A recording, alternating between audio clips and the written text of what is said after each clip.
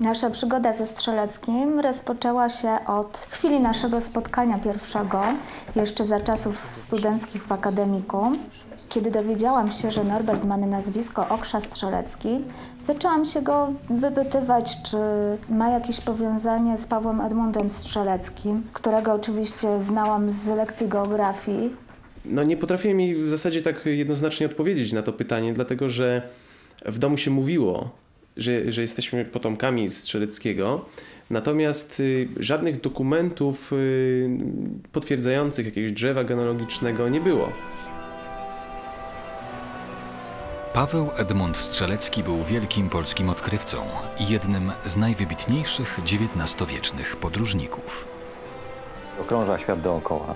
To jest pierwsza podróż dookoła świata mm, z pobudek świadomych, zrobiona przez Polaka i dokonuje odkryć wszędzie, może niemal wszędzie. do każdego to przemówi, jeżeli weźmiemy pod uwagę, że on przeszedł w Australii i Tasmanii 7 tysięcy mil, co jest ponad 11 tysięcy kilometrów.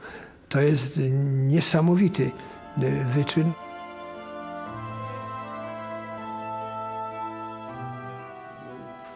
Wchodzi do najwyższych sfer społeczeństwa angielskiego. Koresponduje z Darwinem, jest wymieniany obok Humboldta i Darwina właśnie przez, także przez prasę angielską.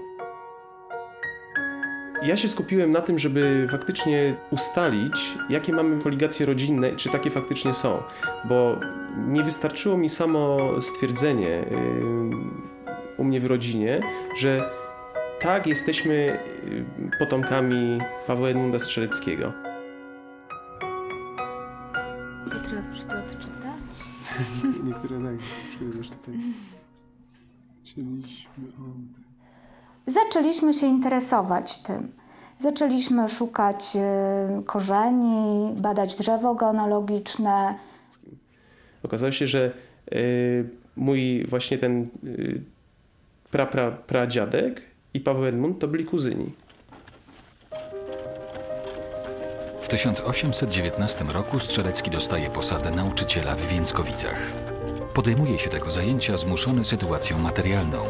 To właśnie w Więckowicach wydarzy się coś, co będzie punktem zwrotnym w jego życiu.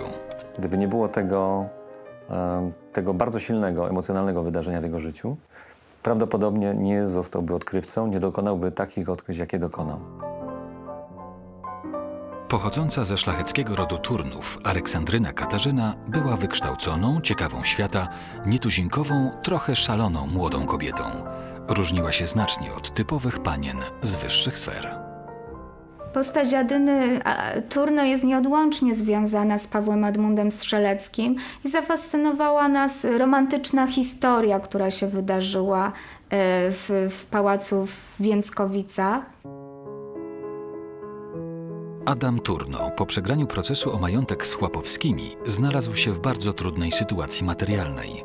Wiązał więc ogromne nadzieje z córką Adyną i z synem Wincentym, a właściwie z korzystnymi mariażami dzieci, dzięki którym mógłby odzyskać dawny status. ponieważ nie uzyskał przy, przychylności jej ojca e, i był na tyle szalony, że postanowił ją wykraść z domu rodzinnego. I to jest taka fajna, nietuzinkowa historia.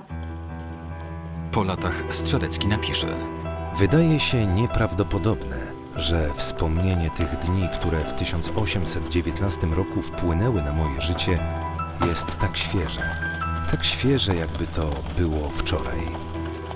Jak wynika ze źródeł, w 1819 młodzi uciekli.